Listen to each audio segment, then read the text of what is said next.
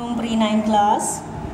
बच्चों, आज मंगल का दिन है और 27 अप्रैल है। आज हम उर्दू की किताब में से सबक कदर याज पढ़ेंगे। सवाल नंबर नौ देखें बच्चों कदर याज की मश्क में से। सवाल नंबर नौ है, दर्ज अल्फाज के मायने लिखे और जुमले बनाए। जुमले आप खुद बनाएँगे। अल्फाज के मायने मैं आपको बता देती हूँ। पहला लफ्ज़ है कबाहत। कबाहत का मतलब आता है बुराई। ठीक है? जैसे किसी काम, अच्छे काम में कबाहत नहीं होती, बुराई नहीं होती, ऐसे जुमला आपने बनाना है। इम्तियाज़ इम्तियाज़ का मतलब है फ़र्क। नोयत नोयत कहते हैं किसी चीज़ की, हम कहते हैं इसकी नोयत क्या है, यानी कि इसकी किस्म क्या है, ठीक है? तलाफ़ी तलाफ़ी कहते हैं अजाला होता है, जैसे अजाला।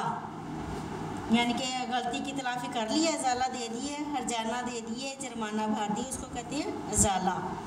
आगे है मबहूत।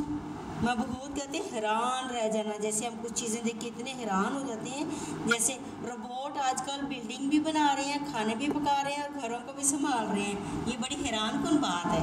ठीक है नेक्स्ट है दस्तूर, तरीका, आइन।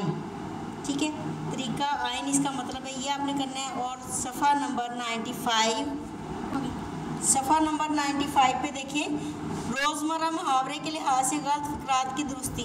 बस ये आपने लिखना भी है और याद भी करना है। इसमें बहुत आसान बातें बताई गई हैं कि हम रोज़मर्रा कैसे गलत लफ्ज़ बोलते हैं, जुमले बोलते हैं और उसको सही क्या होता है। जैसे हमने कहा, आज हमने मैच खेलना है। दुरुस्त है, आज हमें मैच खेलना है। ठीक है? इसी तरह आपने सारा काम लिखना और याद करना है और मुझे भेज देना, मैं आपका चेक करके काम वापस कर दूँगी। असल